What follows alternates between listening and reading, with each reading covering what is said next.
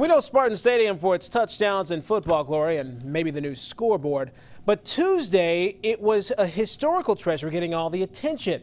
As Lindsay Veramis explains, a 1903 Oldsmobile in storage for years there, finally seeing the light. In a part of Spartan Stadium where few feet ever tread, a piece of Lansing's auto history has been waiting and waiting for a moment in the sun. It has this tremendous history. Uh, it couldn't have a better lineage than to be owned by uh, the inventor and the founder of Oldsmobile, R.E. Olds. In fact, it was the last car Olds ever built. It's a 1903, give or take a few parts here and there, but he put it together in 19, about 1947 specifically in order to donate it to the university. MSU displayed the Olds at its museum for more than 50 years, but retired the car when exhibits changed.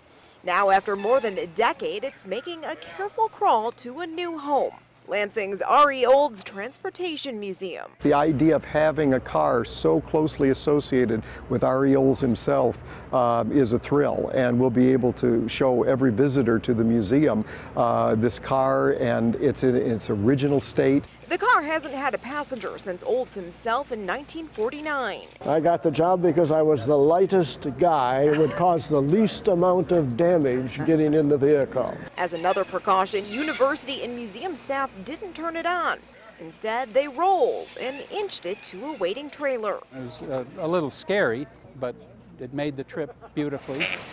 And the caravan began, a museum's new star, escorted by some classic friends. We're just happy to see it get back out on display again. In Lansing, Lindsay Veramis, Fox 47 News. The car is on loan from MSU. You'll be able to see it at the museum starting Wednesday.